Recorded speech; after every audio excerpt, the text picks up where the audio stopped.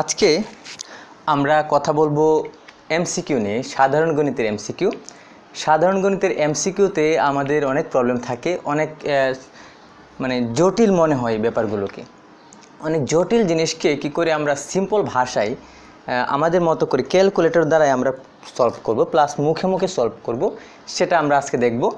এটা হচ্ছে আমাদের যে প্রথম অধ্যায় বাস্তব সংখ্যা, এটার এখন আমরা সলভ করব দু হাজার বিশ সালে যে প্রশ্নগুলো এসেছে সেগুলোর। তো এক নম্বর অধ্যায়ের এই ওভারঅল একটা আমার লেকচার আছে, ওইটা আমি লিঙ্কে দিয়ে দিচ্ছি ডেসক্রিপশনে কারণ ওইখানে কিন্তু এর আগে যতগুলো বোর্ড আসছে প্লাস পুরো বেসিক যে ক্লাসটা মানে বড় ক্লাসটা ওইটা ওইখানে করা আছে। ওইখান থেকে দেখে আসলে তোমরা বিস্তারিত জানতে পারবে, তারপরে এগুলো তোমাদের কাছে খুবই ইজি মনে হবে। তো আমি আবার শুরু করতেছি যে বিশেষ যে প্রশ্নগুলো আসছে, সেগুলো আমরা কত দ্রুত এবং কত শর্টকাটে করতে পারি সেটা, এবং সাধারণ যত নিয়ম আমরা করি, সেগুলোর বাইরে আমরা এগুলো দেখব। এগুলো দেখে আসলেই মনে হচ্ছে অনেক কমপ্লেক্স ব্যাপার। এখানে পুনঃপনিক আছে মূলদ মূলদ কথা বলছে। কিন্তু আমরা সিম্পল ভাষা যদি ইউজ করি, শুধুমাত্র আমরা ক্যালকুলেটারেই ইউজ করব। তাহলে আমরা যদি দেখি যে প্রথম যে অঙ্কটা আছে এটা দেখো। আরেকটা কথা হচ্ছে চ্যানেলটা সাবস্ক্রাইব করে রাখো, যাতে পরবর্তীতে সব ভিডিও দেখতে পারো। আর যদি ভিডিও মনে হয় যে কাজে লাগছে, অবশ্যই সেটা কমেন্ট করে জানাবা যে আসলে নতুন কিছু শিখতে পারছ কিনা। এক নম্বর বলছে জিরো পয়েন্ট ফোর ফাইভ এবং ফোর এবং ফাইভ দুইটার উপরেই পৌনপনিক আছে। কোনো একটা জিনিসে পৌনপনিক থাকা মানে কি? যেটা বারবার হচ্ছে বারবার হচ্ছে। তো আমি যদি এটা তোমাকে একটু ভেঙে দেখায় যে অ্যাকচুয়ালি বারবার হচ্ছে মানেটা কি? আমি এটা মুছে এখানে তাহলে এই জিনিসটা লিখি যে জিরো পয়েন্ট ফোর ফাইভ। এটা হচ্ছে zero point four five four five four five. এই যে দেখো, এইভাবে কিন্তু এটা মানে বাড়তেছে। এভাবে যাচ্ছে, তার মানে থামতেছে না। এটাকে বলা হয় যে পুনঃপুনিক, বারবার এটা হচ্ছে। এইটা নিচের কোনটা আমাকে বলছে এটা। আমরা কিন্তু সাধারণত ওই যে nine nine by four five ওই রকম দিই। তো আমি তো তোমাদের ওইভাবে দেখাবো না, আমি যেহেতু ক্যালকুলেটারের মাধ্যমে দেখাবো, সেহেতু আমি দেখি যে অ্যাকচুয়ালি এটার মান হচ্ছে zero point four five four five four five এরকম। আমার যে অপশনে যেটা আছে, ক, খ, গ এবং ঘ এই চারটার মধ্যে কোনটার মান এটা? এটাই হলো অ্যান্সার আমাদের ওই সূত্রে যাওয়া দরকার নেই। আমরা দেখব যে অপশন যেগুলো আছে অপশনগুলো কোনটা এত হয়। তো আমি প্রথম যেটা আছে, প্রথমটা যদি ক্যালকুলেটর তুলি, একচল্লিশকে আমি ভাগ দেব নাইন নাইন দ্বারা। এটা জাস্ট ক্যালকুলেটর তুললাম, একচল্লিশকে আমি নিরানব্বই দ্বারা ভাগ করলাম। ইকুয়াল পাচ্ছি zero point four one four one four one পাচ্ছি। তার মানে এটা হচ্ছে জিরো পয়েন্ট ফোর ওয়ানের পুনঃপুনিক যেটা, এটার অ্যান্সার হলো ক নম্বর এই জন্য ক নম্বর অ্যান্সার হবে না। দুই নম্বরটা আমি যদি ভাগ দেবো জাস্ট ফাইভ ভাগ এগারো। সিম্পল ভাগ যেটা আমরা দিই, এটা দিলে আমি পাচ্ছি zero point four five four five four five দেখো সিম্পল ভাষায় কিন্তু আমি জিরো পয়েন্ট ফোর ফাইভ পেয়ে যাই। তুমি পাঁচকে এগারো দ্বারা ভাগ দাও, তাহলে তুমি এইটা পাবা। এই জন্যই এটাই হলো অ্যান্সার তাহলে আমি খতে অ্যান্সার পেয়ে গেছি, তাহলে আমার গ এবং ঘ এগুলো করার দরকার নেই। আমাদের এটা সলভ হয়ে গেল। এবার আমরা যদি আসি এখানে যে নিচের কোনটি? মূলত সংখ্যা। ওকে তো আমি একটা কাজ করি, আমি এই টাইপের যত প্রশ্ন আছে, যে ভগ্নাংশে যেটা পুনঃপুনিকের ওইটা আরও একটা করি। যেমন ধরো, এই যে এটা দেখি। চার নম্বরটা। জিরো পয়েন্ট থ্রি থ্রি সাধারণ ভগ্নাংশ কোনটি? এটাও সেম কথা হবে। আমরা যখন জিরো পয়েন্ট থ্রি থ্রি মানে কি, এটা point three point three point three এভাবে যাবে। জাস্ট এখানে ফোর ফাইভ যেটা ছিল ফোর ফাইভের জায়গায় এখানে পয়েন্ট থ্রি পয়েন্ট থ্রি হবে। ওকে পারমানেন্ট মার্কার ছিল। তাহলে এটা আমরা যেটা বলছি যে আমরা এখন এই জিরো পয়েন্ট থ্রি থ্রি মানে কি যে এটা পয়েন্ট থ্রি এরকম। এটা কিন্তু অ্যাকচুয়ালি এটার মান। বাড়তেছে থ্রি থ্রি করে বাড়তেছে, ওকে? এবারে সেম কথা আমি বলব যে আমি জাস্ট অপশন থেকে ভাগ দেবো, যেমন তেত্রিশকে একশো দ্বারা ভাগ দেবো, তেত্রিশকে নব্বই দ্বারা ভাগ দেবো, সেটার কোনটার মান zero point three three three three এইরকম হবে? এটা হচ্ছে যে এরকম এটা। তো অপশনে ভাগ দেই। আমি যদি প্রথমটা ভাগ দিই, যেমন তেত্রিশকে একশো দ্বারা ভাগ দিই, দেখো তেত্রিশ ভাগ একশো। এটা হচ্ছে জিরো পয়েন্ট থ্রি থ্রি হচ্ছে। এটা কিন্তু থেমে গেছে, শুধুমাত্র zero point three three continue করে না এইভাবে রানিং করে না। এই জন্যে এটা ক নম্বর অ্যান্সার হবে না। খ নম্বর দেখি, আমি তেত্রিশকে যদি এই নব্বই দ্বারা ভাগ দিই, তাহলে দেখো কত পাচ্ছি? Zero point three six six six এইরকম এই মানটা পাচ্ছি। তো এটাও কিন্তু আমার অ্যান্সার না, zero point three six six six, এটা না। আমার লাগবে zero point three three three three three three, এটাও বাদ। আমি তেত্রিশকে নাইনটি নাইন দ্বারা ভাগ দিই, তাহলে দেখো পাচ্ছি zero point three three three three three three. তোমরা ক্যালকুলেটার ভাগগুলো দাও, আর আমি যেটা বলছি সেটা করো।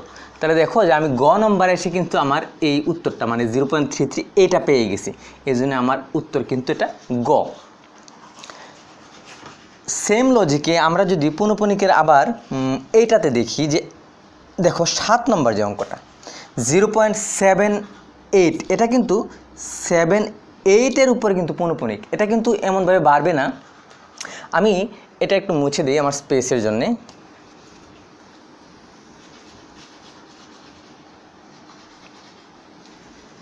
ওকে আমরা যদি এই যে এটা, এইটা চিন্তা করি ফোর পয়েন্ট সেভেন এইট শুধুমাত্র এইটের উপর পৌনপুনিক তার মানে এটা যদি আমরা গ্রো করি, তাহলে এটা গ্রো করলে হবে এমন যে ফোর পয়েন্ট সেভেন এইট এটা কিন্তু সেভেন এইট সেভেন এইট করে ওইভাবে বাড়বে না। এটা শুধুমাত্র এইটের উপর পৌনপুনিক বলে বারবার এইট আসবে। তার মানে অনেকগুলো এইট আমরা এভাবে কন্টিনিউ করতে থাকবে এটা। সাজানো হলো এটা। আমি ভগ্নাংশটা দেখব যে কোন ভগ্নাংশটা এটা হয় মানে four point seven eight eight eight হবে, সেটাই অ্যান্সার হবে। এখানে একটা ব্যাপার হচ্ছে, এখানে কিন্তু যে একাত্তর বাই নব্বই অথবা আটাত্তর বাই নাইন দিলে হচ্ছে না, কারণ এখানে একটা, এটা কি করে ভাঙতে হয়? যা আমাদের, দেখো আমরা এটা, এগুলো কীভাবে ভাঙি? এই চারকে নব্বই দ্বারা গুণ দেব, তারপর একাত্তর দ্বারা যোগ করব। তাহলে আমরা মেন যে ভগ্নাংশ, এটার অপ্রকৃত ভগ্নাংশটা পাবো।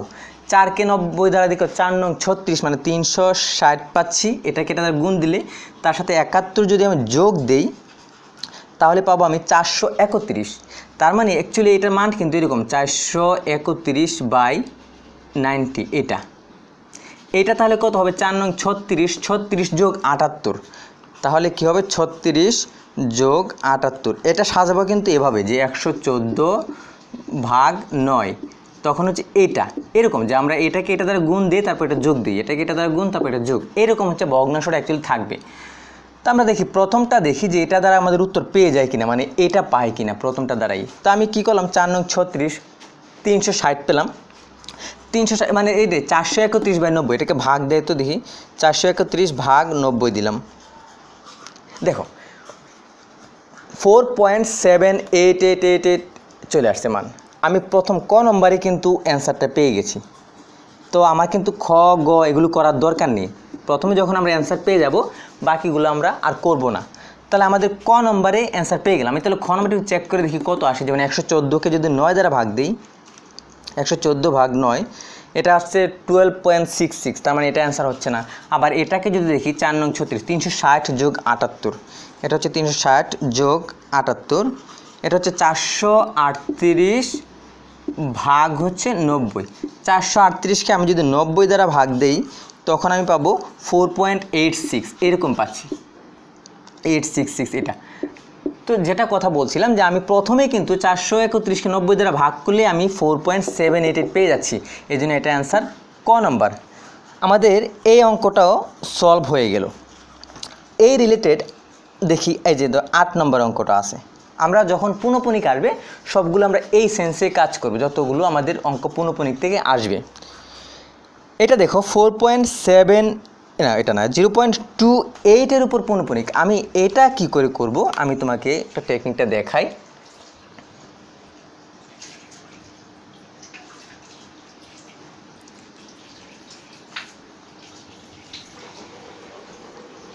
ওকে এই যে, এটা হচ্ছে আমাদের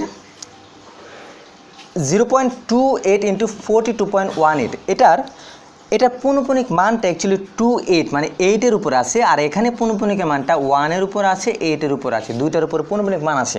আমি গুণটা কী করে সাজাবো এটা? এটা এভাবে এভাবে লিখব। Zero point two eight eight eight আমি চার পাঁচটা এইট এইট দেবো, আমার ইচ্ছা মতো। এটা একদম মাপা না। আমি দেখো এক, দুই, তিন, চার, পাঁচটা দিলাম, এই ছয়টাতে পাঁচ, ছয়টা যা ইচ্ছা দিলাম। মানে পয়েন্ট টু এইট এইট এরকম থাকবে। এটার কাজ শেষ।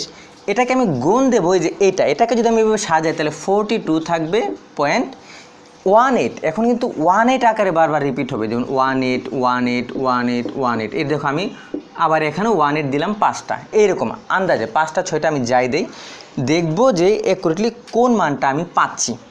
তাহলে আমি এটা আবার ক্যালকুলেটার তুলি তো দেখি কি হয় যে পয়েন্ট টু এক, দুই, তিন, চার, পাঁচ, ছয়টা দিলাম into forty two point one eight one eight one eight one eight okay আমি এটা তাল, তুললাম।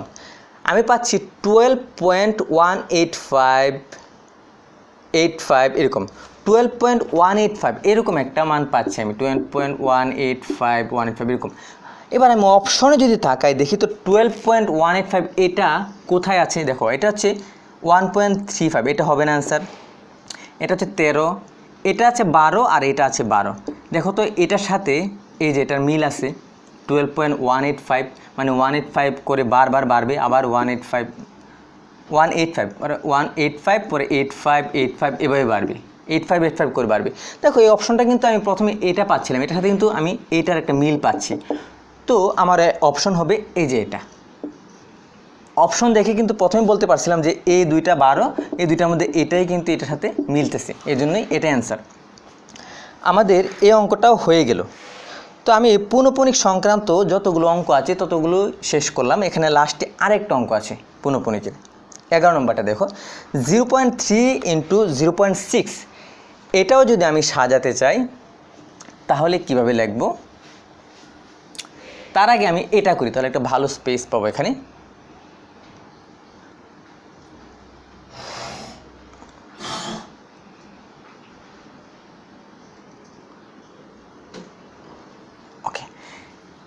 এটা মনে হয় টু এইটের উপর একটা পুনঃপুনিক ছিল। আচ্ছা আমরা এটা দেখি যে forty two point one eight আর হচ্ছে জিরো পয়েন্ট টু এইট এটাও আবার সেম হুবহু এটার মতো করে করব, এই যেটা কীভাবে গুণটা দিছিলাম? আমি দেব forty two point one eight one eight one eight one eight okay one eight এভাবে দিলাম। এটার কাজ শেষ করলাম, এটা। গুণ দেব, এই যে জিরো পয়েন্ট টু তো দেবো জিরো পয়েন্ট টু এইট বারবার আসতেছে। তার মানে এইটের উপর পুনঃপুনিক আছে, আমি এইটটা বারবার লিখব। আমি এইটটা আরও কয়েকবার লিখে দিলাম, ঠিক আছে? এরকম। এটাকে আমি এটা দ্বারা গুণ দেব। তাহলে কীভাবে দেখি তো forty two point one eight one eight one eight one eight into zero point two eight eight eight দিলাম পাঁচ, ছয়টা এইট এইট তাহলে আমি পাচ্ছি twelve point one eight five ও আচ্ছা এটা তো করলাম একটু আগে। Twelve point one eight five এটাও twelve point one eight five আসতেছে। অ্যাকচুয়ালি এটার অ্যান্সারটা এটার অ্যান্সারটা সেম তার মানে আমি যদি এটা গুণ দিয়ে কিন্তু এটা পাচ্ছিলাম যে। এটা গুণ দিয়ে যেমন twelve point one eight five পাচ্ছিলাম, তাহলে এখানেও আমি যখন এটা গুণ দিচ্ছি এটা, এই ছয় নম্বরের, এটার সাথে এটা এভাবে গুণ দিলে আমি পাচ্ছি twelve point one eight five twelve point one eight five দেখো তো অপশনে কোনটা, এটা জিরো পয়েন্ট তাহলে এটা হবে না। এই যে twelve point one eight five এটা পেয়ে যাচ্ছি। আবার এটা হচ্ছে তেরো, এটা হচ্ছে এগারো, তাহলে তো এগুলো তো হবে না। এই সবগুলো প্রশ্ন দেখো যে বিভিন্ন বোর্ডে আসছে, যেমন ঢাকা বোর্ড বিশ, ঢাকা বোর্ড বিশ, এগুলো রাজশাহী বোর্ড মানে বিভিন্ন বোর্ড চট্টগ্রাম বিশের প্রশ্নগুলো আমি করতেছি। তো আমি অপশন দেখে বললাম যে আমার এটা হলো অ্যান্সার তাহলে দেখো যে আমি পুনঃপুনিকের যত অঙ্ক আছে, সবগুলো কিন্তু আমি একই রুলসে করতেছি। তোমরা আমার কথাটা বুঝে তারপর নিজে চেষ্টা করে দেখো যে তোমরা পারতেছো কি না তাহলে আমি এবার এটা মুছে দিই। এটা মুছে দিলে আমি এটা মুছে দিতে পারব। এবার ফাইনালি পুনঃপুনিকের যে অঙ্কটা আছে, সেটা হচ্ছে জিরো পয়েন্ট থ্রি এটা। ইন্টু জিরো পয়েন্ট সিক্স এটা কীভাবে সাজাবা দেখো তো? এখানে থ্রির উপর কিন্তু পুনঃপুনিক নাই।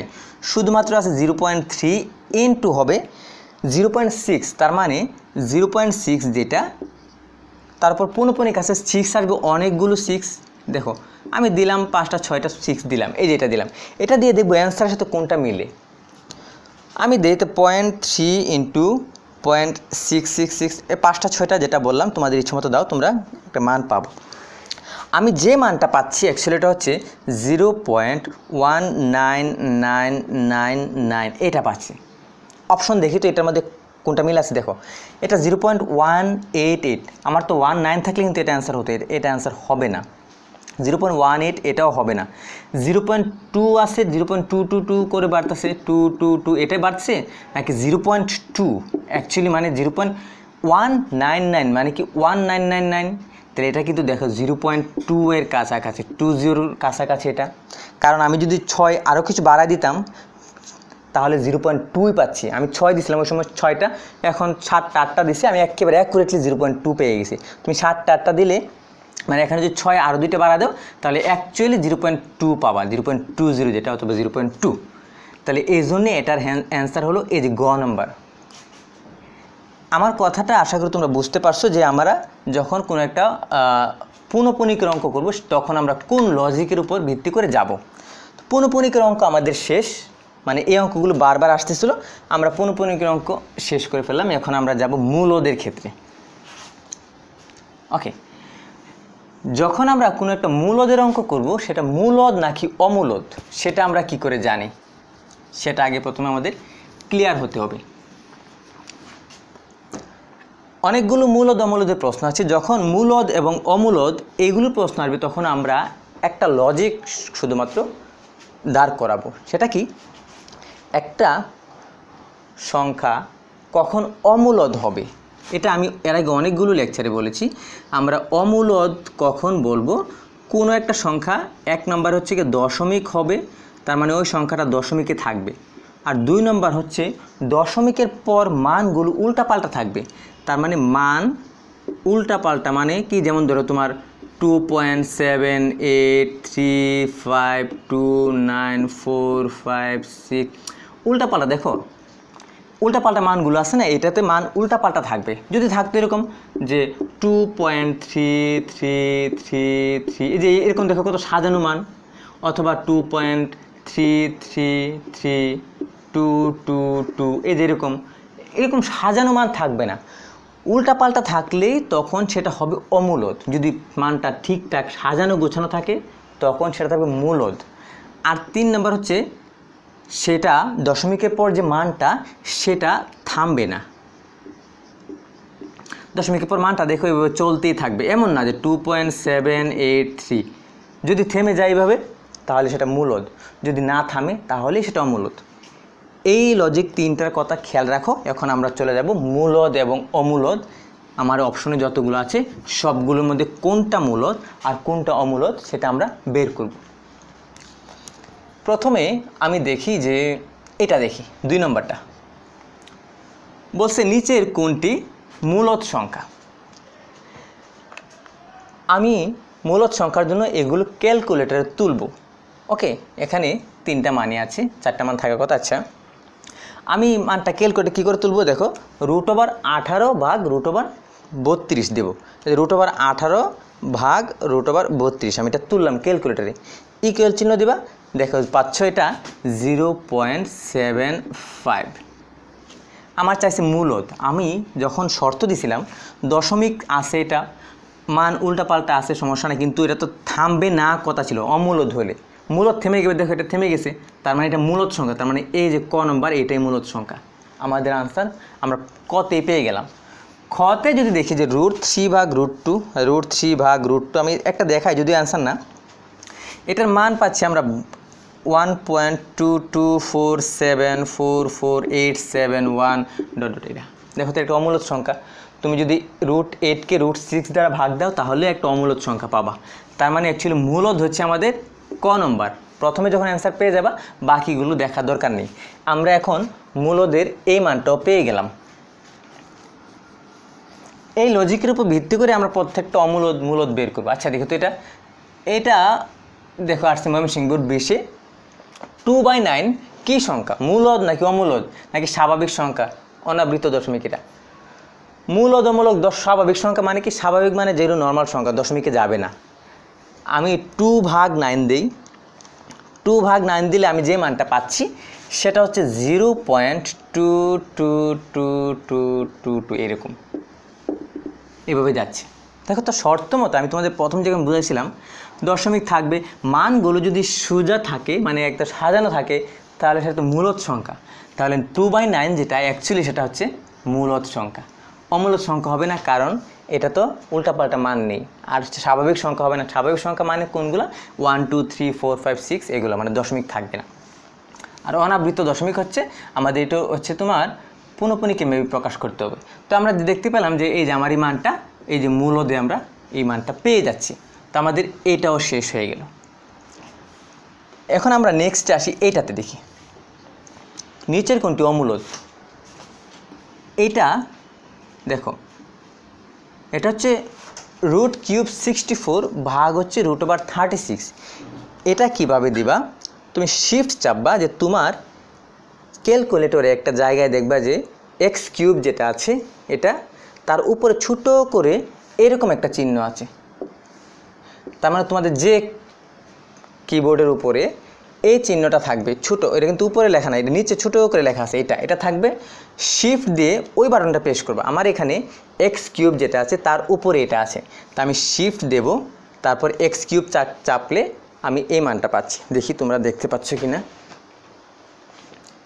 দেখো, এই যে এইভাবে থাকে। শিফট দিয়ে এক্স কিউব চাপার পরে এরকম মানটা পাচ্ছি। এটা চাপার পর আমি দেব সিক্সটি ফোর তার মানে এটা সিক্সটি ফোর হয়ে গেল। ভাগ দেব রুট ওভার থার্টি সিক্স দ্বারা রুট ওভার থার্টি সিক্স এটার মান আমি পাচ্ছি zero point six six six এরকম বাড়ছে। তার মানে এটা তো মূলত সংখ্যা, অমূলদ না। কারণ আমি সাধারণ মান পাচ্ছি। এটা কি করে দেব? আবার শিফট দিয়ে ওই এক্স কিউব তাহলে এই রুট ওভার কিউব পাচ্ছি। এইট ভাগ দেব, আবার শিফট দেওয়া এক্স কিউব টোয়েন্টি সেভেন এটাও এই এই মানটা এটাও পাচ্ছি zero point six six six six. Six তাহলে এটাও মূলত সংখ্যা অমূলদ না। এটা কত আছে? Root over eight one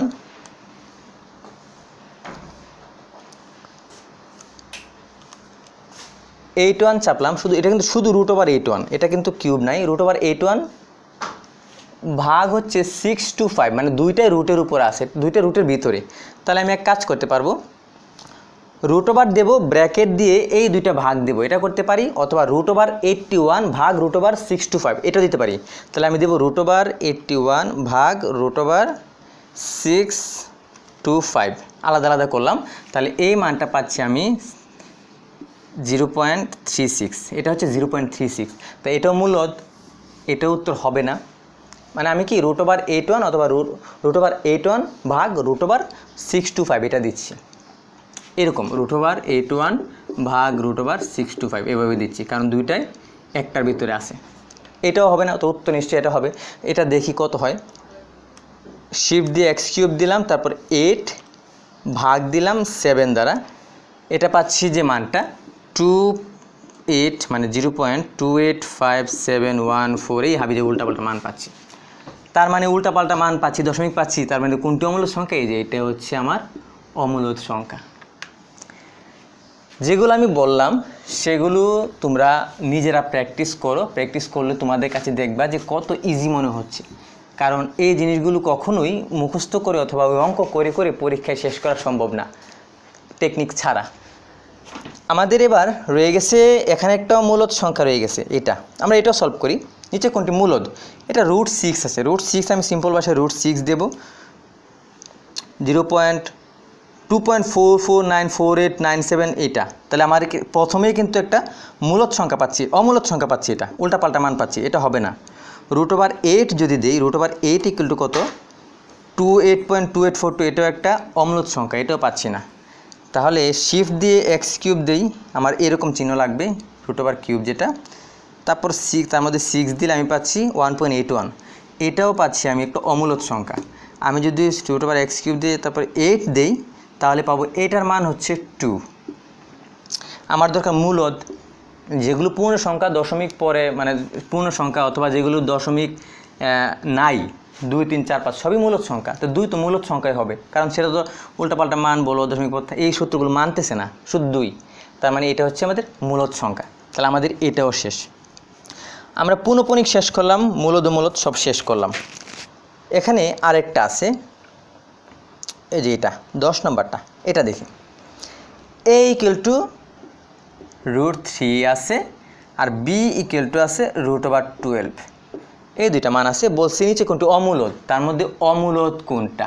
আমার অমূলত বের করতে হবে। এ প্লাস বি আমি এ প্লাস বি দিই।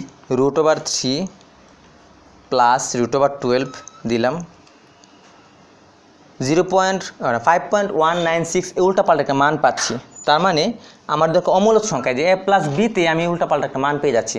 তাহলে এ প্লাস বি হচ্ছে আমার অ্যান্সার বাকি অঙ্কগুলো করার দরকার নেই। আমি যদি এ বি দেখো, আমি যদি ভাবি এক গুণ দিই এ দুটো গুণ দিই, তাহলে কী পাবো? আমি যদি root three into root twelve দিই, তাহলে পাবো ছয়। মানে এটার মান থাকে ছয়।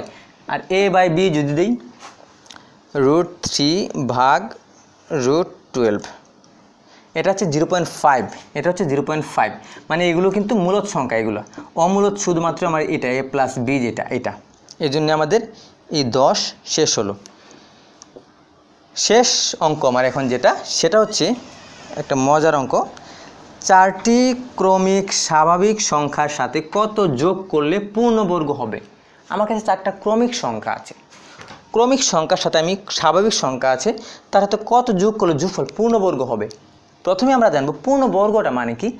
যে সংখ্যাকে আমরা বর্গমূল করলে একটা পূর্ণ সংখ্যা পাই। যেমন মনে করো পঁচিশ। আমি যদি পঁচিশকে বর্গ করি তাহলে পাঁচ পাবো। অথবা ছত্রিশ দিলে ছয় পাবো। উনপঞ্চাশ দিলে কত পাবো? সাত পাবো, এরকম। অথবা ষোলো দিলে চার পাবো। এই যে এগুলো হচ্ছে পূর্ণবর্গ সংখ্যা। যাকে আমরা বর্গমূল করলে আমরা পূর্ণ সংখ্যা পাই তাকে। যেমন ধরো রুট ওভার বিশ যদি চিন্তা করি, তাহলে রুট ওভার বিশ কিন্তু পূর্ণ সংখ্যা না। রুট ওভার বিশ হচ্ছে ফোর পয়েন্ট ফোর সেভেন একটা ভগ্নাংশ সংখ্যা। আমার লাগবে পূর্ণ সংখ্যা, সেটাকে বলা হয় পূর্ণবর্গ সংখ্যা। তো আমি চারটি স্বাভাবিক সংখ্যা, এর সাথে কত যোগ করলে এই যোগফলটা পূর্ণবর্গ হবে? চারটি স্বাভাবিক সংখ্যা তুমি যে কোনো সংখ্যা ধরবা। দুই, তিন, চার, পাঁচ দুই, তিন, চার, পাঁচ, আবার ধরতে পারো তিন, চার, পাঁচ, ছয়, আবার ধরতে পারো চার, পাঁচ, ছয়, সাত। মানে যে কোনো সংখ্যা তুমি ক্রমিক সংখ্যা ধরো। ওয়ান টু থ্রি ফোরও ধরতে পারো। ওয়ান টু থ্রি ফোর এরাও তো ক্রমিক স্বাভাবিক সংখ্যা।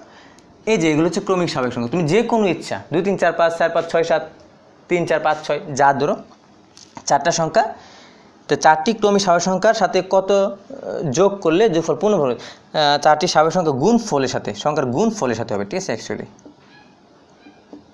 গুণ ফলের সাথে কত যোগ করলে যোগফল পূর্ণবর্গ হবে? আমি গুণ দিই তো। One into two into three into four.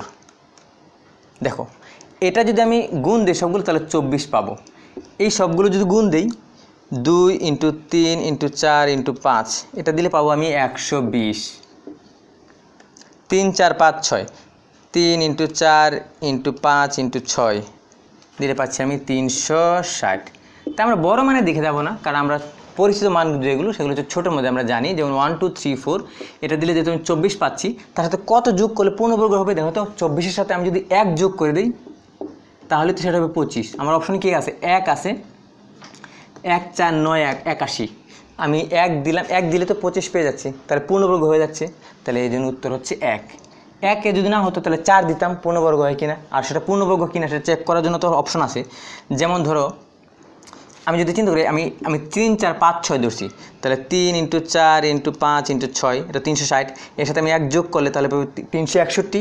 Root over তিনশো একষট্টি দাও তো, দেখো পূর্ণবর্গ হয় কিনা, এটা হচ্ছে একশো প্লাস ওয়ান দিলে তিনশো একষট্টি হয়, এটাকে রুট ওভার করলে পাবো তুমি উনিশ। কিন্তু আমি বললাম কি, আমি পরিচিত মানের দিকে যাব, আমি ছোট মানে যাব এক, দুই, তিন, চার দুই, তিন, চার, পাঁচ। ঠিক আমি জানি যে একশো একুশের সাথে যোগ করলে একশো একুশ হবে। একশো একুশের বর্গ মানে কি এগারো? এরকম। তারপর যদি একে না মিলতো, তুমি চার দিতা, নয় দিতা, একাশি দিতা, এইভাবে দিয়ে তুমি দেখো কোনটা, সেটা বর্গমূল হয়। তো এই হচ্ছে আমাদের আজকের যে যতগুলো অঙ্ক ছিল দু হাজার বিশ সালে যে প্রশ্নগুলো আসছে, সেগুলোর সমাধান। আমি যে কথাটা যেভাবে বলছি, সেটা তোমাদের বুঝতে হবে এবং বুঝে নিজেরা ক্যালকুলেটার দেওয়ার চেষ্টা করো। দেখো, আমি একটা অঙ্ক কিন্তু নর্মাল সূত্রের মাধ্যমে করি নাই, একটা অঙ্ক তোমাদের বইয়ের ভাষায় করি নাই সব কিছু আমার ভাষায় করেছি, আমার টেকনিক করেছি। এমন না যে টেকনিকগুলো তুমি অন্য কোথাও পাবা, ঠিক আছে? এই টেকনিকগুলো কিন্তু আমার একান্তই অনেকগুলো নিজের থেকে চিন্তা করে আবিষ্কার করা, ঠিক আছে? তো আমি আশা করি তোমাদের ভালো লেগেছে। যদি ভালো লাগে অবশ্যই কমেন্ট করবা।